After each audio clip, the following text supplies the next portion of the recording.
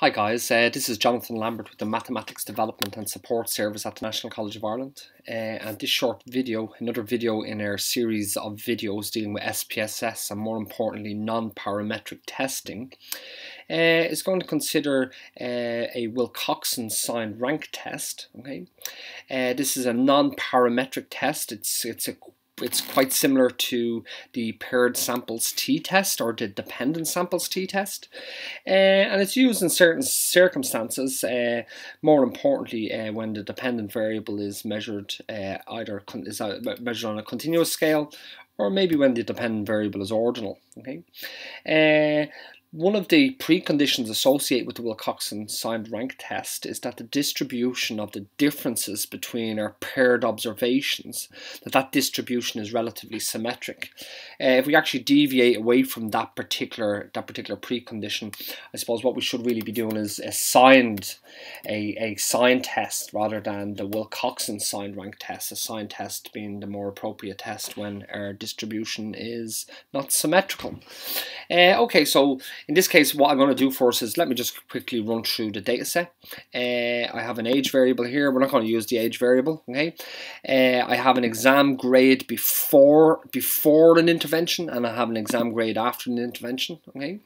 Uh, and the question that I have to, that I would like to ascertain an answer to is whether there has been a significant change with respect to the uh, after grades compared to the before grades.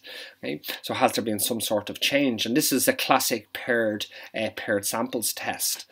Uh, but what I need to check first of all is just the preconditions associated with this Wilcoxon signed rank test and to make sure that the distributions of differences between the before and after groups uh, are relatively symmetric. And to do that, I'm just going to create a new variable uh, through the transform option. I'm going to call it compute variable.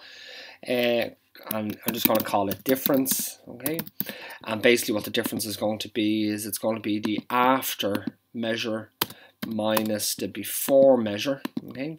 The after measure minus the before measure, that'll give us the difference.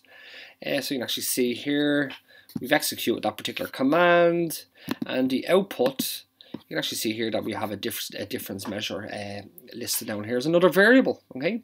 So I'm just going to go to graphs really quickly, legacy dialogues down to histogram, and what I'm going to do is I'm just going to put the difference measure in here as my variable. I'm just going to have a look at the distribution, visual inspection of the distribution here of the differences. And well, you can see it very clearly here is that the distribution looks like it's symmetrical. Yeah, okay. Uh, it looks very symmetrical actually. Okay. So I'm happy enough now with my Wilcoxon signed rank test that that's actually uh, the appropriate test to do in this situation. Okay. Uh, so how do we undertake this particular test? Well, once again, it's a non-parametric test. Uh, I go to analyze. I'm going to choose non-parametric tests. Uh, I'm going to go down to legacy dialogues uh, and what we have is we have two related samples. Okay, this is our paired samples. Our non-parametric paired samples options are here. So it's two related samples. I have the before, I have the after measure. Okay, so related samples, paired samples, dependent samples, all the same word, all words used to represent uh, the same the same concept. So it's for two related samples I have. I'll click OK on that. Uh, and all I'm going to do now is I'm just going to take my after measure, I'm going to put that in first, and I'm going to take my before measure and put that in second. Okay, and by default here I'm looking for the Wilcoxon, uh, the Wilcoxon signed rank test. As I said earlier on, if our distribution of differences, okay, if the distribution of differences was not symmetric, okay, uh, we couldn't rely on the Wilcoxon uh, signed rank test. We'd have to go for the sign test. Okay, it's just it's it's just a test that's I suppose more for when the differences between our befores and our after measures, our paired observations, deviate from from symmetry. Uh, okay, so that's basically it. Let's see what options we can get out here. Okay, we can get descriptive statistics and we can get the quartiles, okay, in particular the median values. Uh, the null hypothesis in this particular situation is that there's no difference between the before and the after measures, okay? No difference, okay? Or the median, the average, I suppose I'd be probably better off saying that the average median before is the same as the average median, as is the same as, sorry, the median before is the same as the median after, yeah? That there's no difference between the two medians, okay? Uh, so let's just keep that in mind, that's the null position. For us to move away from the null position, uh, like in all of our tests, uh, we're going to rely rely upon the p-value and if the p is low the null must go uh, which for us our significance level is going to be set as, as 0.05 or 5% at the 5% level. So any p-value less than 0.05 is going to suggest that there's evidence uh, it's going to be suggesting that there's evidence uh, that there's a difference between the before and the after measures okay? So that's it basically. We're ready to go. I'm just going to hit OK now and then we're going to get the output okay? And you can see the output that we're at getting here okay? Uh, if we just fire straight down into the test statistics table you can see that we have this measure here asymptotic significance two-tailed okay? And the p-value here this significance value is 0.000 which is less than 0.05 so in this situation, there is evidence to suggest that the two medians are different, okay? And that's important, yeah?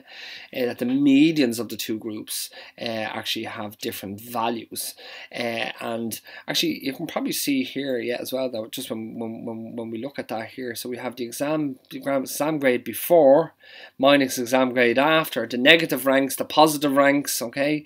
We can see that we have the mean ranks here. We have, no, don't forget, this is before minus after, okay?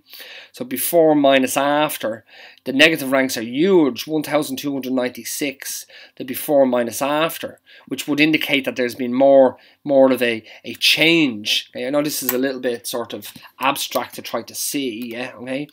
Uh, but the after measure is actually bigger than the before measure, in which case this actually becomes negative. And the negative ranks is a lot bigger than the positive ranks. In other words, there's been more change towards the negative direction than the positive direction. But let's keep that in mind. Uh, really what we're saying here is this, is that from a negative ranks perspective, yeah, that the grade after is actually bigger than the grade before, okay?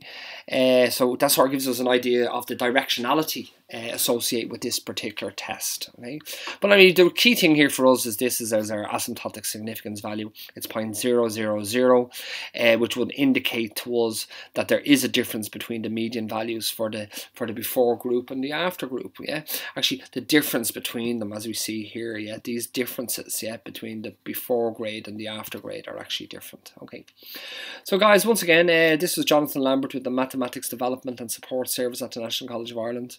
Uh, and I hope that this particular video was in some way intuitive and more importantly I actually hope that was helpful for you and thanks for watching. Okay, bye bye.